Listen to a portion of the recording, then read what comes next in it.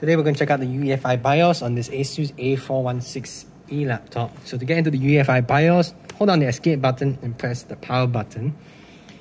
And then you should get this preset elect device. You can just enter the setup from this way. So you can find out that the laptop comes with a UEFI style BIOS like on the ASUS desktop motherboards, but you won't get so many options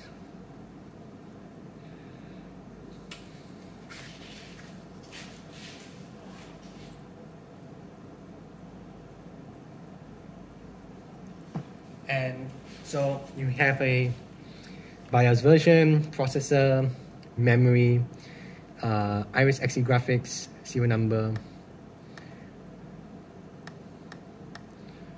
and I'm not sure why you can select these, but you can. The mouse is very sensitive at this at this rate.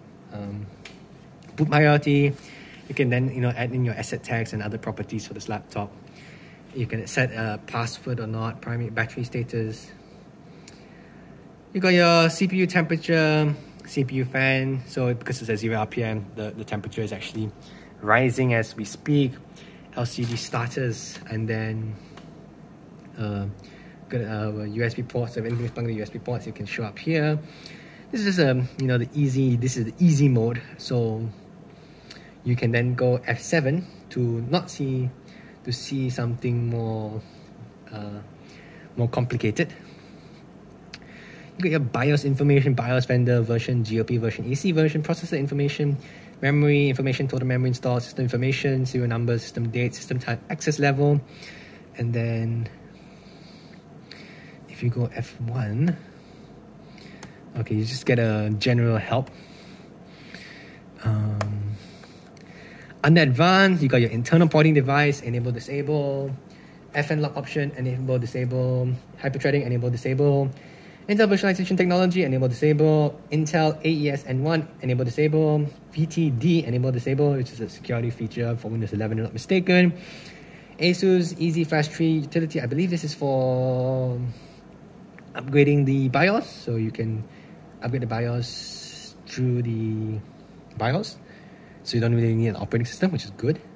Um, Intel Rapid Storage Technology, so this supports RST. So you might want to disable RST before you install Ubuntu, unless you can find drivers.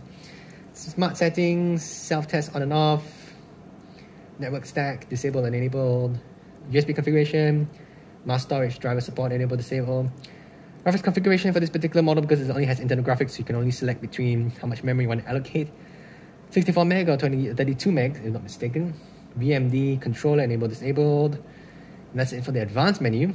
And the boot, fast boot enable disable. Boot option, you can add a new boot option, which is good. Lenovo, looking at you, you don't have an easy way to do this. Shame on you. Um, delete boot option, don't do this unless you want to have a nightmare. Security, administrator, password on install, user password on install. I/O interface security, wireless network and Bluetooth interface unlock or lock. HD audio interface, unlock, unlock, USB interface security, all these presumably, yes, uh, unlock or lock. So card reader, CMOS camera, external port, USB interface.